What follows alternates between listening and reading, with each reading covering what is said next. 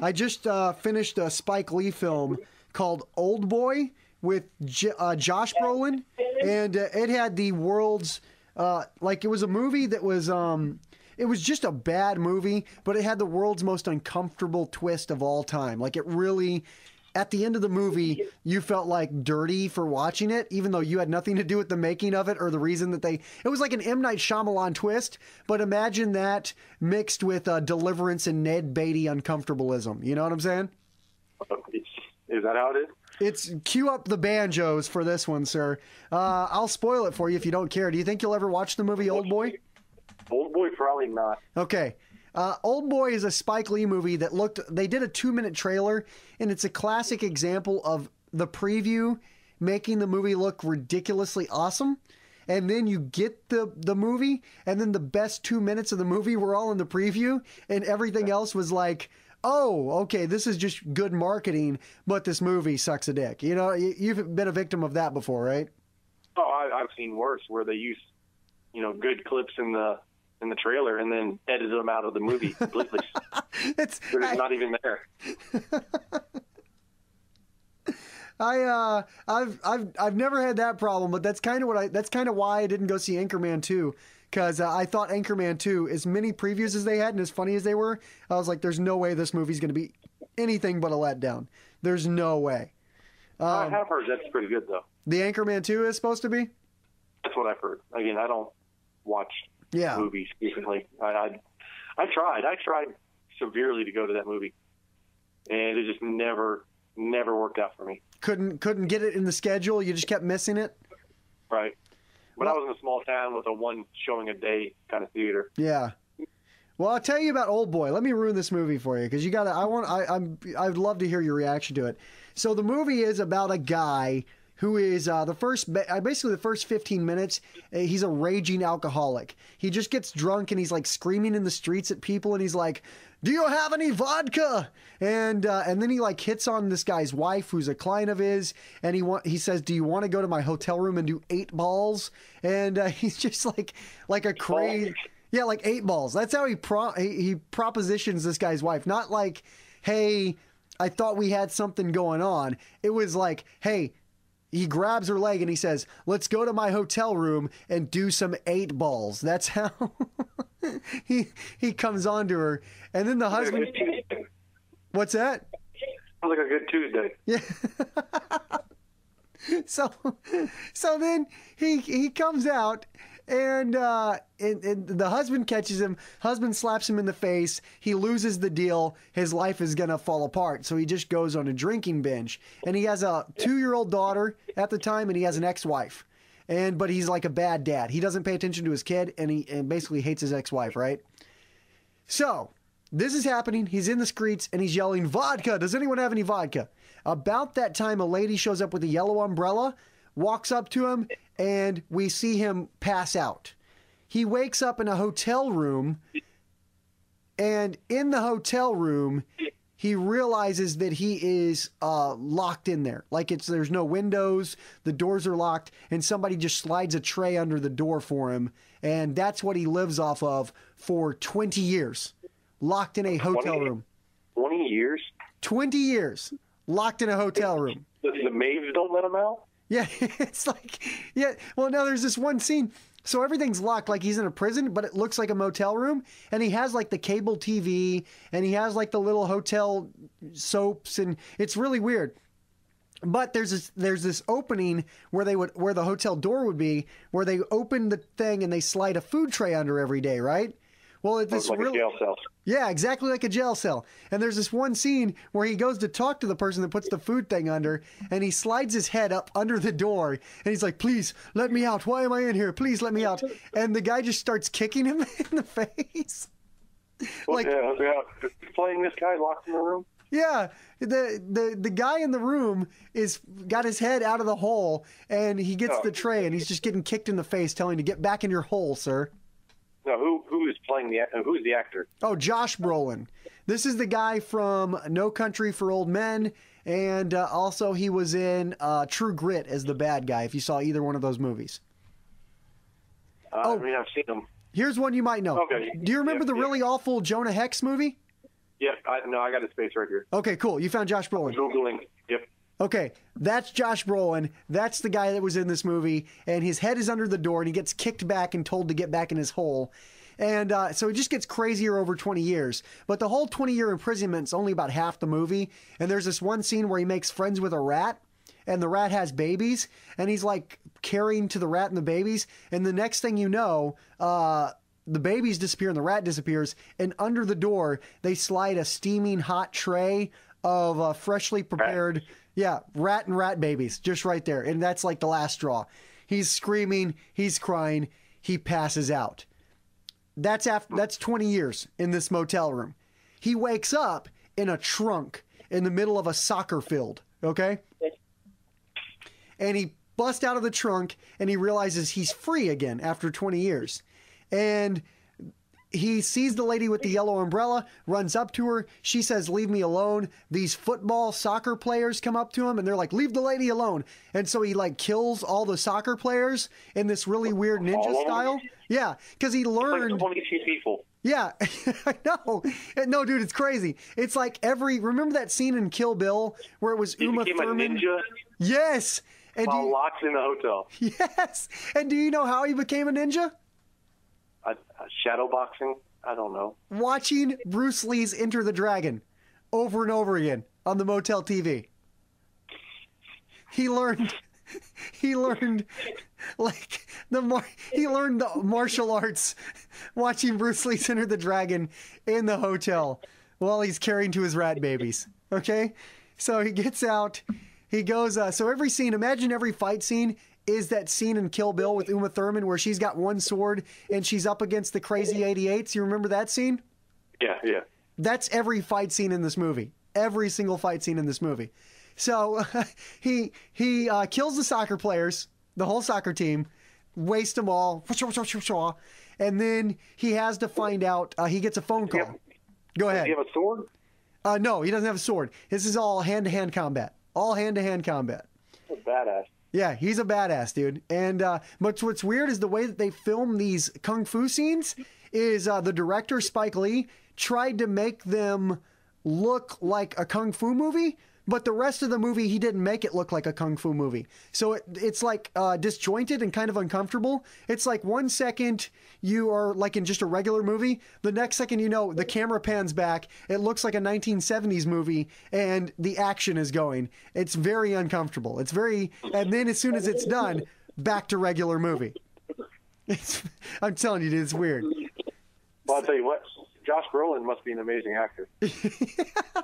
From just transitioning from scene to scene, or what? No, no, because uh, yesterday he confessed to, to heroin use, Oh, did he really? uh, according to Fox News and The Guardian. Okay, so now that you know that about him, you're right. I'm gonna I'm gonna rephrase it on the line chart. He's right under he's right under Philip Seymour Hoffman as far as brilliant acting, and uh, he's pretty good in the movie. But uh, but the scenes with the kung fu are, are just don't fit in with the rest of the movie. So uh, let me try to get past that part. So now he's on a search to find. Um, he gets a phone call. He's got an iPhone that he has placed on his body um, that he like wakes up with. But keep in mind, the last time he was around was 1993. He gets an was iPhone. there was no phones. He thinks nothing of this iPhone. He's using it like uh, like he like he was like a born in 2002. He is using this iPhone. No, pro- it's not even like oh, this is a magical phone device in my hand. What is this? It's like he's surfing the internet. He's googling people. He's trying to find his captors, and he's using the iPhone like no questions asked. Doesn't even have a learning curve. So it on TV. you see the preview for this, or you see the people using the iPhone? I'm just saying he's seen the iPhone on TV. Oh, well maybe that's I a good he- point. He, he became a ninja from TV. Why can't he learn how, how to use an iPhone? This is a fair point. If you're right, if you can learn any the other oh the other thing he watches in the motel room, I forgot to tell you about, is he watches a lot of Suzanne Somers, like doing that thing where you remember where she had that thigh master thing and she would Right. work her thighs. That's the other thing that he watches a lot. It's like Enter the Dragon and then Suzanne Somers working out with a thigh master. That's the only two things that he watches in 20 years. So, uh, he's on a search. He gets a phone call on his iPhone from the guy that's like the bad guy in the movie. And the guy is like, there are two questions you need to answer. And if you answer them, I will, uh, you know, tell you where your daughter is. Why did I, uh, who am I, and why did I put you in prison for 20 years? Those are the two questions. Okay? So Hold on, hold on, hold on. go ahead. I, I want to make a game out of this. Okay, go ahead. Uh, okay, so I guess 20 question style. Like, is this guy a cop? No. Okay. Like anything like police related, law enforcement. Um, no. He's not related in any way to any kind of official law enforcement. Steal some money? Is he a criminal? I'm going to say, other than imprisoning Josh Brolin for 20 years in a motel room and paying for it to happen, No, no, I'm, I'm talking about Josh Brolin. Josh Oh. Brolin is a cop. Josh Brolin is a criminal. I'm No. trying to figure out why the guy kidnapped. him. Josh Brolin's not a cop. Josh Brolin's not a criminal. Uh, no, no, no, to, just a drunk. That's it. Just a drunk office worker. So no to both counts. And there's no uh, DWIs, fatal accidents. Uh, No. Hmm. So why would this guy be looking for him? All right. So let me. Can I give you a hint? Yeah, we'll keep moving forward then because I can't figure it out. Okay. Just interrupt me when you have guesses. Then. So you know you know the two questions, right? Who am I and why did I imprison you? Those are the two questions. Okay. All right. shout out whenever you got a, a thought. so uh, so then he goes and Josh Brolin finds his old pal from high school that's now like a bartender and he hooks up with him and they're going to help find out who this guy is and all that stuff. And along So the is, is anybody concerned that he's been missing for 20 years? that's the weird thing. His partner or his bartender friend who knows that he uh he's been missing for 20 years doesn't really ask a lot of questions. He's just like, "Oh, hey, good to see you again. Come on in." And then Josh Brolin in a while. Yeah, exactly. And then Josh Brolin tells him the story, and he's like, "That's crazy. We need to find out who this guy is." Instead of like, "Okay, I shouldn't be hanging out. This could be dangerous. Why am I involved?" He's just like, "Well, that's a wild story. What what a crazy 20 years you've had." Let me get in on this. Yeah, let me join right in with you so I can go to jail for 20 years. Um, so that's one character, and then the only other character you need to know about is there's this girl that becomes friends with Josh Brolin. Remember how he killed the whole football team and was chasing the girl with the umbrella? Well, Right. he got interrupted when he was doing that by a nurse who, uh, because basically the girl with the umbrella handed her umbrella to a homeless man. He chased a homeless man with the umbrella to like a blood drive for homeless people. And this lady who's a nurse gets out and she's like, Listen, I don't know who you are, but you look like you need help. Here's my business card. Give me a call if you ever need anybody to talk to. And that was it. And so then he calls this lady, and she is like his, it's like the bartender friend, this lady, and him trying to figure out what happened. So that's it. That's the whole premise of the movie.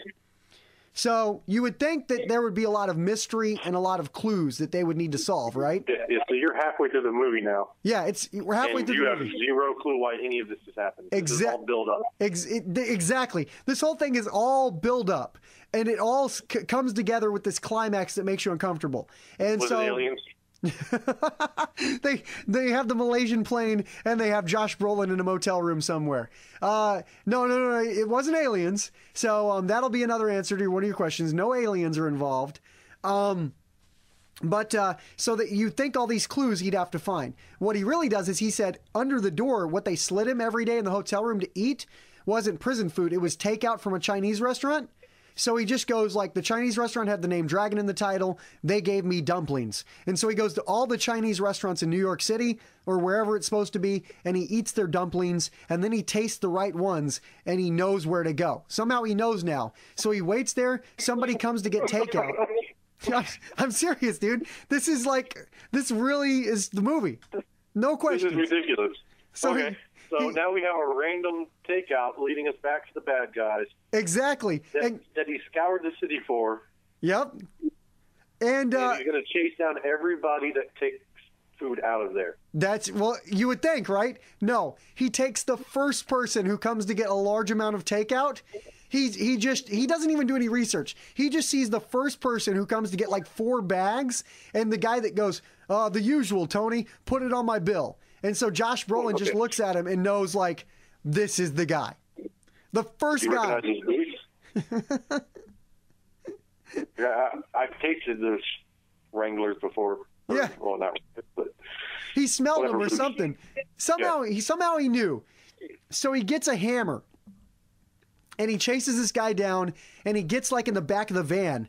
He hops in the back of the van. This guy's taking the takeout back to the place, and they get into a garage. And uh, without, again, any investigation whatsoever, before the guy can get the takeout out of the van, Josh Brolin bashes his head in with a hammer, just brains on the floor. no, who are you? Who do you work for? Just fuck you for buying Chinese food. yes. No questions. He didn't. no clues, no problem solving skills. Just this must be it because they got takeout from this Chinese Is he the criminal? Then that's the next. Uh, is he the criminal? Is he? Is, is all this in his own head? Oh no no no! So it's not. That's not the twist. It's not him playing this up. So no to that one. So, Okay. So he bashes the guy in the head with the hammer, takes the takeout, but the takeout is so big that it masks his face as he's walking to deliver it. So they let him, they buzz him in, they bring him in. Hey, did you bring the people their pet food or something like that? And uh, and then what it is, it's Samuel L. L. Jackson who runs this uh, motel prison operation. I'm gonna have to see this. Yeah. You didn't tell me Jackson was in it. Yeah, Samuel L. Jackson, but he's in it and he has this weird, like, blonde mohawk that he has shaved into his head. And, uh, but he, he's not the bad guy. He works for the bad guy. He runs this motel that is for people who pay him enough money to imprison people, no questions asked. Um, The health inspector never shows up in 20 years. there's several plot holes along the way of this thing. Yeah, there's no health inspector, there's no code inspector. Uh, they just have this motel that they run filled with imprisoned people. Samuel L. Jackson and his blonde 24 hours a day for the average man. It's not like you have the, the random tourist family showing up and like, I'd like a room for the week. Yeah, they I, they don't have any of that. No, you're asking already. You're already asking too many questions that, that make sense for this movie. Because then, basically, what happens is uh, Josh Brolin threatens to kill Samuel L. Jackson unless he tells him who uh, kid who paid to have him imprisoned, and uh, then he goes to start. You think he's going to cut his throat with a box cutter because he gets out a box cutter and he draws lines down his throat but instead he starts cutting out sections of skin because what he said is he wants to cut out enough sections of skin that he can rip off Samuel L. Jackson's head with his bare hands. That was his objective. And the skin's holding it back. He's, Okay. he's just so anyway. Samuel L. Jackson finally says, "Okay, I'll tell you," and then he tells him who the guy is. And then, uh, right before he kills Samuel L. Jackson, all of Samuel L. Jackson's uh, uh, cronies bust in, and uh, again, Kill Bill, the crazy 88s. He takes a hammer and he fights off like 400 people kung fu style and kills them all with a, a claw hammer, and then goes to find this guy. So that's Is, this, is the murderer Bill? it's, it's not. a character similar to Bill? It uh, it's not Bill, but uh, it's similar. So what it is, it is a, uh, it's this weird, um, uh, white guy who has from like Luxembourg. He's like some dude from like uh, Europe somewhere, and uh, so what it is is this guy was wronged, and this is what's weird about the movie. Why the guy paid to have him put in a motel was uh, made no sense at all with the rest of the story. It's like out of nowhere, here's a storyline. So this guy went to high school with uh, Josh Brolin, and he was wronged in high school. Do you want to take some guesses as to how as to as to what he was wronged about? Like he got pantsed, or they were playing the slap nut game, or he was just a nerd, got picked on because he was foreign exchange. I mean, normal high school shit, or was he like raped by J- Josh Brolin? It involves his sister. It involves it involves very close. It involves family mass murder. It involves the guy from high school's dad trying to kill him, and him surviving, and it all being Josh Brolin's fault. But Josh Brolin's dad. No, no, no. This other guy's dad. We'll call him. I can't remember his name from the movie. We'll call him Andrew Dupree. Okay. Okay. Um, so Josh Brolin's dad tries to kill. No, Andrew Dupree's no, Josh dad. Brolin. Sorry. Okay, so, so the the European guy, Yeah, yeah, yeah. his father tries to kill everybody. His father killed his sister, killed his mom, and tried to kill him. The European guy tried to kill the European guy, and the and European Josh guy lived. Brolin walked by the murder scene and didn't help. What he did is Josh Brolin used to pick on the sister, and he was in like he was an alcoholic from high school, so he's going to this garden at their school to drink, find his like vodka stash, which he has stashed under a greenhouse for some reason. So he goes goes under the greenhouse, gets the vodka bottle, is drinking vodka by himself, and he looks over and he sees the European guy's sister uh, having sex with a guy, and he's drinking and watching it, and then he sees her face come down, and see he sees that she's having sex with an older man, like an adult man, like a grown, and I think he assumes it's a professor or something. Gym teacher. So he tells the whole school the story. Tells the whole school the story about how he saw the daughter, uh, or not the daughter, but the the sister uh, having sex with the old guy, right? Right. So that's why this guy is after him. Now, quick aside, and then I'm going to wrap it all up nicely for you. Quick aside is while this is all going on and Josh Brolin is figuring this out, he's developed. You remember the nurse from the homeless uh, blood drive? Yeah, yeah. He developed a romantic relationship with her, and they have been banging. They have been doing the nasty. Okay. Okay. So that's very important. That's crucial to this whole thing. So then, uh, That's that's the European girl. no, it's not. I'm, I'm This like is- pin now. But the girl is related. She is she's involved very much so.